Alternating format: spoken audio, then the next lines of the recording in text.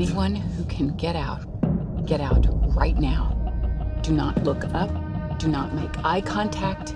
Just go. Lee, stay calm. I'm right here. We are live in five minutes. You have the revisions for the opening. We're still making some changes. Am I going to get the changes before the show or You after know the the drill. show? You just point the camera my direction. We'll figure it out together. It always sounds so simple and yet so moronic. Here he is, the Wizard of Wall Street himself. The name is Lee Gates. The show is Money Monster. Without risk, there is no reward. Should I sell? Should I unload? Get some balls!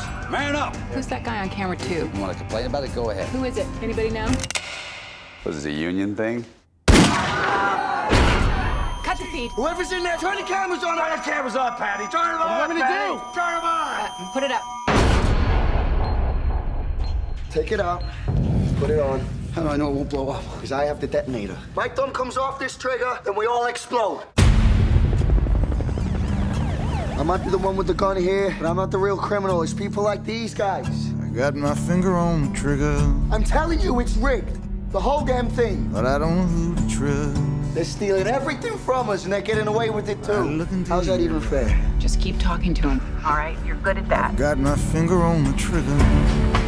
You lost a lot of money when the market tanked. faith just ain't. They tracked down his girlfriend. That was everything we had, every last cent. What are you doing? I'm just trying to survive. I'll get you some answers. Nobody was asking any questions before. These guys could expose everything. We both want an explanation for what went wrong. We don't know.